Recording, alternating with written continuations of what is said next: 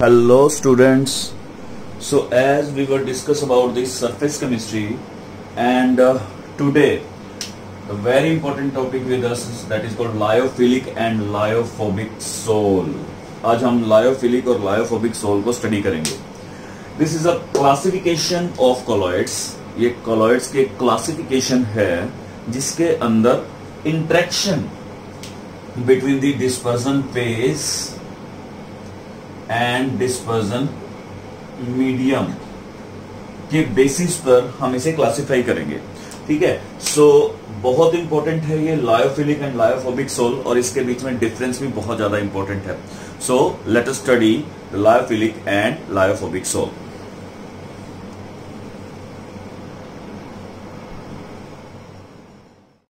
so let us first discuss about the lyophilic sol पहले, सबसे पहले हम लायोफिलिक सोल के बारे में स्टडी करते हैं। So is the definition definition के बाद हम कुछ इसके कैरेक्टरिस्टिक्स को भी स्टडी करेंगे कि ये क्या है।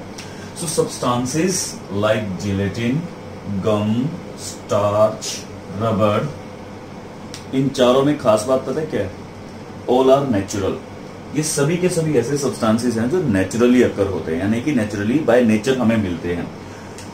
Which are mixed with suitable liquid यानी कि डिस्पर्जन मीडियम के अंदर इनको डाला गया। सोल क्या चीज़ है? Sol means what as as we have discussed कि सोल कैसे बनेगा? When some solid dissolve in liquid ठीक है? तो सॉलिड के तौर पे हमने यहाँ पर सारी की सारी नेचुरल चीज़ें ली हुई हैं। कौन कौन सी? जैसे जिलेटिन लिया गम लिया, या स्टार्च ले लिया, या रबड़ ले लिया। ठीक है? इन इन सब में से और भी बहुत सी ऐसी चीज़ें हैं जो हम यहाँ पर यूज़ कर सकते हैं। खास तौर पे किस चीज़ का ध्यान रखना है? साइज़ का। कि इनका जो साइज़ है, वो वन नैनोमीटर से वन थाउज़ेंड नैनोमीटर के बीच में होना चाहिए। That is one nanometre to one thousand nanometre के बीच में होना चाहिए। ये इनकी खास बात है। आप इन सॉलिड को किसी को भी यूज़ करके यदि किसी लिक्विड में डाल देंगे सो ये लिक्विड कैसे एक्ट कर रहा होगा एज ए डिस्पर्सन मीडियम ठीक है, फिर से देखते हैं definition substances like gelatin gum starch rubber which are mix which which are mix with suitable liquid वो लिक्विड कैसे एक्ट करेगा?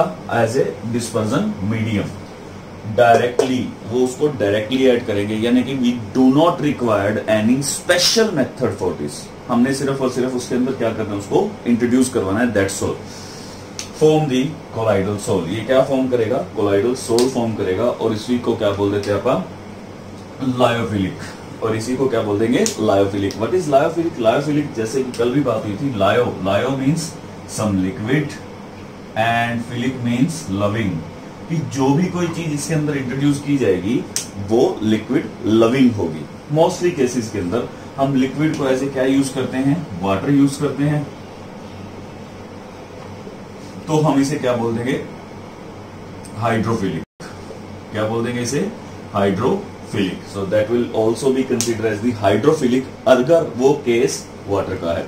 जैसे कि यहाँ पर मैंने एक एग्ज़ाम्पल लिया है। इस एग्ज़ाम्पल को समझते हैं कि एग्ज़ाम्पल में क्या क्या चीज़ें यूज़ हुई हैं। ठीक है? फिर इसको डेफिनेशन पर फिर से अप्लाई करेंगे। से दिस इज़ वाटर वाटर को हमने कैसे लिया? As a dispersion medium water को डिस्पर्जन मीडियम के तौर पे लिया। कोई भी चारों में से कोई भी एक सब्सटेंस हमने यूज़ कर लिया। Say we are using starch starch को हमने यूज़ कर लिया। जैसे ही हमने स्टार्च इसके अंदर डाला तो ये कंप्लीटली इसके साथ क्या हो जाएगा? मिक्स हो जाएगा। It will completely mix completely mix with liquid कौन सा liquid water as a liquid we do not require any special method for this just डाला और बन गया। सो डायरेक्टली फॉर्म हो रहा है सोल। यहाँ पर हमारा जो सोल बनेगा, वो डायरेक्टली बनेगा, बस घोलने से बन जाएगा। ठीक है? सो so, ये नेचुरल होते हैं. मोस्टली ये क्या होंगे? नेचुरल होंगे जैसा कि आप देख पा रहे हैं. We do not require any special method so कुछ इसके करेक्टरिस्टिक्स को देखते हैं. इसे हम इंट्रिंसिक कोलॉइड्स भी बोलते हैं. ठीक है? तो याद रखना जो लायोफिलिक सोल होंगे दे आर ऑल्सो भी कंसिडर एज इंट्रिंसिक कोलॉइड्स उसको हम इंट्रिंसिक कोलॉइड्स भी बोलते हैं. ये चीज़ कई बार पूछ ली जाती है तो इसको ध्यान रखना है. ठीक है? दूसरा जो यहाँ पर है यहाँ पर आप देख सकते हैं कि जैसी स्टार्च इसके अंदर डाला, ये डायरेक्टली फॉर्म हो रहा है। तो ये फॉर्म डायरेक्टली होगा। फॉर्म डायरेक्टली यहाँ पर we do not required any special method ठीक है? ये डायरेक्ट फॉर्म होगा, उसके अंदर डालते ही फॉर्म हो जाएगा, ठीक है? तीसरी बात। ये रिवर्सिबल होते हैं। They are reversible in nature reversible होते हैं, ठीक है? रिवर्सिबल का मतलब क्या है? हमने ये स्टार्च इसके अंदर इंट्रोड्यूस करवाया, सोल तैयार हो गया। अब फिर से इसको इवेपोरेट करवा दीजिए। यहाँ पर जो लिक्विड है उसको हमने इवेपोरेट करवा दिया। हमें फिर से स्टार्च मिल जाएगा सेपरेट सेपरेट और वो वाटर वहाँ से अलग हो जाएगा। सो so, हम कह सकते हैं कि they are reversible so reversible by evaporation हम इवेपोरेशन की हेल्प से इसको रिवर्सिबल कर सकते हैं। ठीक है? सो so, ये इसका बहुत इंपॉर्टेंट पार्ट है। याद रखिएगा कि ये रिवर्सिबल होते हैं। Mostly they are natural mostly they are natural ये नेचुरल सोल होते हैं सारे के सारे। आप देख सकते हैं कि जिलेटिन नेचुरल अकरिंग है गम नेचुरल अकरिंग है स्टार्च भी नेचुरल अकरिंग है और they are highly hydrated hydrated इस वजह से because they contain lots of O H group यहाँ पर आप ओ एच ग्रुप बहुत ज़्यादा देखने वाले हैं क्योंकि कारण क्या है? बिकॉज़ जैसे कि ये स्टार्च है। स्टार्च के अंदर we can see there are lots of glucose molecule और ग्लूकोज मोलिक्यूल के अंदर ओ OH की मात्रा बहुत अधिक होती है। ये मोलिक्यूल आपको बहुत ज़्यादा दिखेगा ठीक है? सो so, इस ग्रुप के कारण यहाँ पर हाइड्रेशन बहुत अधिक मात्रा में होगी।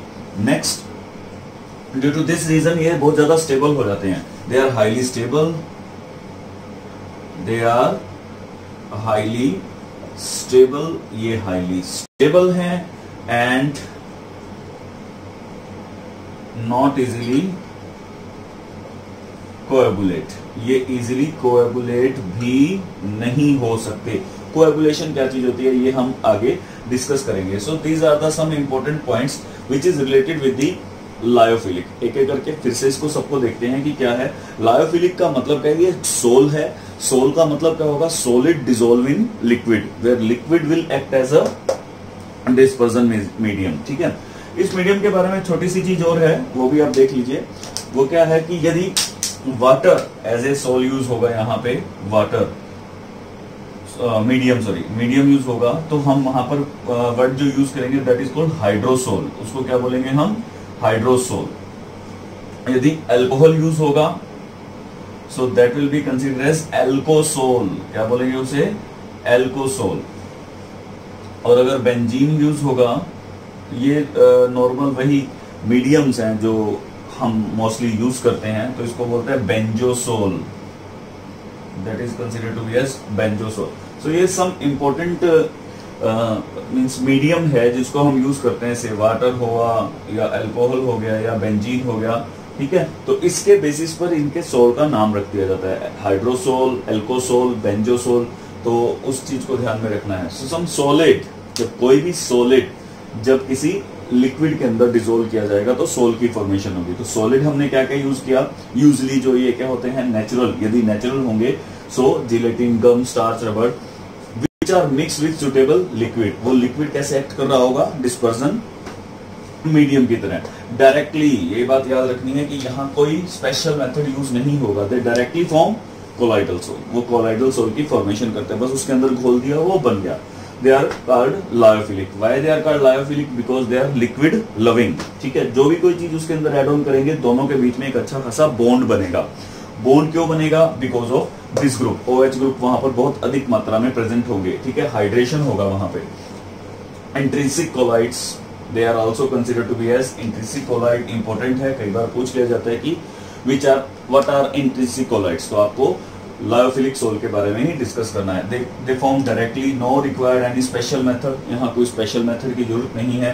ठीक है they are reversible in nature ये रिवर्सिबल होते हैं। आप इवेपोरेशन से आप अपने वापस से ही जो जो मटेरियल से वो बना था, उसको फर्दर सेपरेट कर सकते हैं। जस्ट बाय इवेपोरेशन ठीक है वाटर है तो इवेपोरेट हो जाएगा अल्कोहल इवेपोरेट हो जाएगा बेंजीन भी इवेपोरेट हो जाएगा।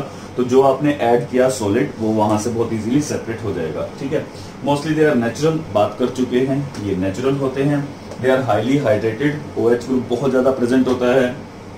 एंड दे आर स्टेबल ये स्टेबल होते हैं मोस्टली इस जो हम देखते हैं कि नेचुरल होने के साथ साथ दे स्टेबल होते हैं बिकॉज़ यहाँ पर हाइड्रोजन बॉन्ड भी आपको देखने को मिलेगा। इस ओ OH ग्रुप के कारण यहाँ पर हाइड्रोजन बॉन्ड बहुत ज़्यादा हो जाएगा, क्योंकि आगे अगर वाटर प्रेजेंट है तो वाटर के साथ उसका हाइड्रोजन बॉन्डिंग हो जाएगा, जिसके कारण इनकी स्टेबिलिटी बन जाती है और ये इजिली कोएगुलेट नहीं होंगे।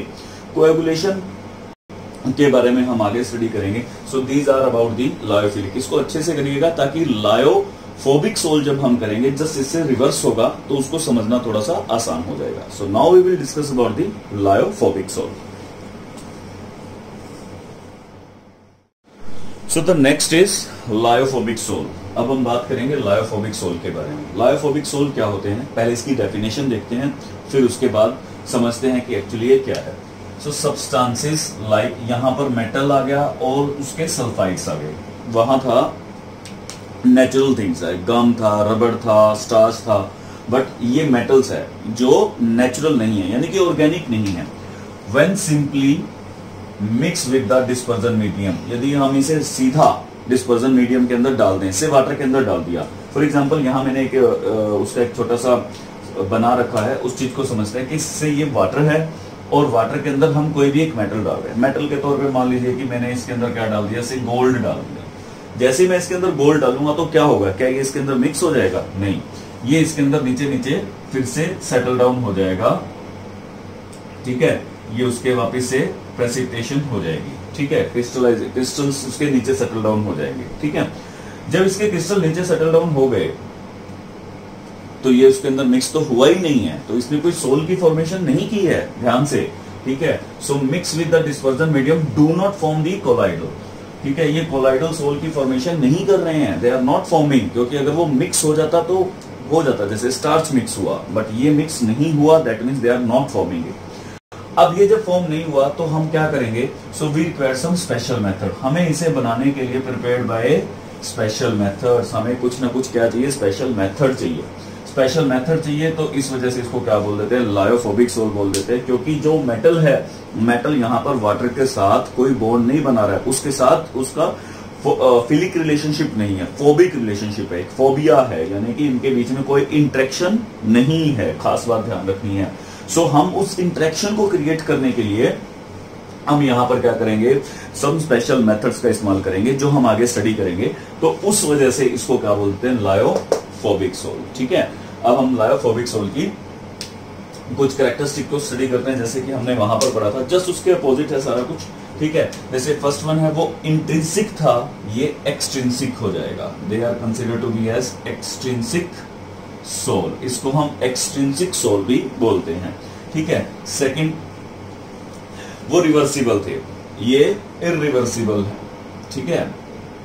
ये इरिवर्सिबल है। इनको बनाना मुश्किल है, पर उसी तरीके से उसको सेपरेट करना भी सेम वे में मुश्किल है। ठीक है? हम बाय जनरल मेथड्स यानी कि फ़िज़िकल मेथड से इसको रिवर्स नहीं कर सकते। दे आर इरिवर्सिबल नेचर वहाँ पर हाइड्रेशन था बहुत ज़्यादा। नो हाइड्रेशन यहाँ पर कोई हाइड्रेशन नहीं होगा। कोई हाइड्रोजन बॉन्ड की फॉर्मेशन नहीं होगी यहाँ पे, क्योंकि ओ OH ग्रुप एबसेंट है गोल्ड है या एल्यूमिनियम है। यहाँ पर आप देखेंगे कि कोई भी ओ OH बॉन्ड नहीं है। जब ओ OH मोलिक्यूल ही यहाँ पर प्रेजेंट नहीं है ओ OH के एबसेंट होने की वजह से यहाँ पर आप हाइड्रोजन बॉन्ड भी नहीं देखेंगे, ठीक है?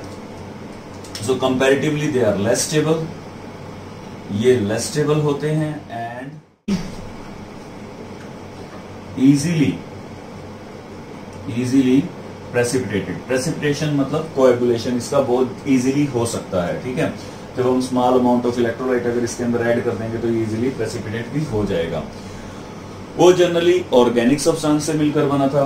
यहाँ पर जनरली क्या यूज़ होंगे? सम इनऑर्गेनिक सब्सटेंसेस ठीक है? जैसे मेटल है या मेटल सल्फाइड है, हम यहाँ पर यूज़ करते हैं तो they are they are using some inorganic substances for forming of lyophobic sol की ठीक है, जिसके अंदर हमने देखा कि ये क्या क्या नेचर अपना शो करते हैं और कैसे कैसे हम उसको किस किस चीज़ों का यूज़ करके हम इसे बना सकते हैं, ठीक है, जैसे वो ऑर्गेनिक और ये इनऑर्गेनिक चीज़ों से बनता है, ठीक है।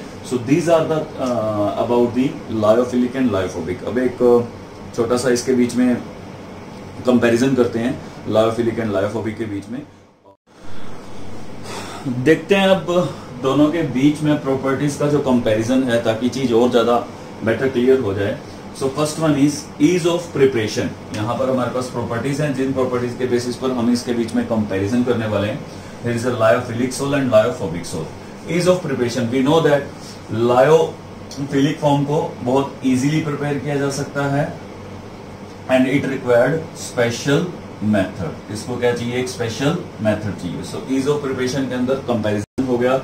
Second stability these are highly stable and these are less stable comparatively. Hydration. High, highly hydrated. Highly hydrated. Hydrated. Less. No hydration. यहाँ पर कोई हाइड्रेशन नहीं होती है। ठीक है?